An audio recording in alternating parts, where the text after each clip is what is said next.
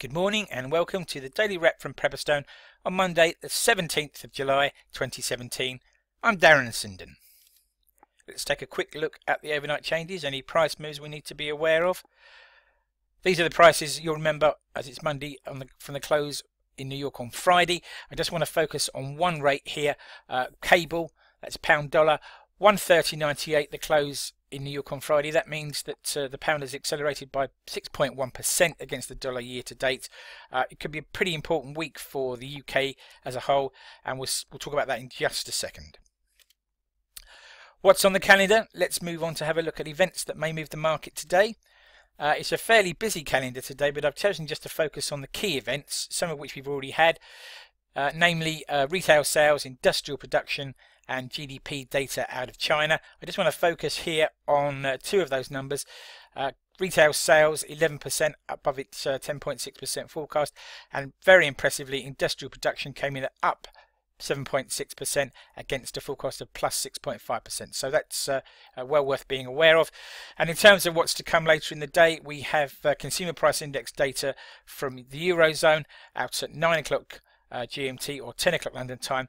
And then to finish the day over in New Zealand, we have uh, CPI data there for the whole of the second quarter, and that's out at 22.45 GMT or uh, 23.45 London time. Okay, let's uh, take a look at the breaking news and comment that's caught my eye this morning. Firstly, China's GDP grew by 6.9% in Q2 and is on course for the first acceleration since 2010. Moving back to Europe, Brexit negotiations will resume in Brussels today uh, but the UK cabinet appears to be fighting among itself, and uh, the press and uh, TV programmes over the weekend were full of talk of briefing against Chancellor Philip Hammond. Speaking of politics and uh, and unhappiness, uh, President Trump's approval ratings fall to 36% as he celebrates his six-month anniversary in the job. Whilst at the same time in Asian trading, dollar index looks to be on course for new 10-month lows.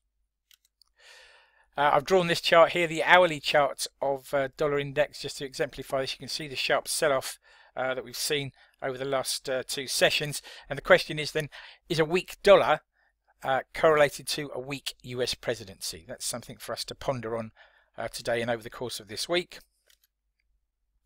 Speaking of things to ponder, let's give you some food for thought, something else to take into the trading day with you. Uh, Here's a chart that shows uh, China GDP growth since 2007. Uh, the salmon pink line is the nominal growth and the red wine coloured line is the level of real growth. Nominal growth in China has begun to rebound, but can real or inflation adjusted growth do the same? You'll notice the differential here between uh, real and nominal growth. And the answer to this question may be critical to what happens next for the global economy. China obviously has been the economic powerhouse of the globe for much of the last 15 years. Thank you for your time. Please do take a moment to read through this uh, risk warning and disclaimer. Trading uh, foreign exchange and CFD on leverage can be a risky business, and if you're in any doubt about those risks, then please contact your Pepperstone account executive. Once again, thank you, and we look forward to speaking to you tomorrow.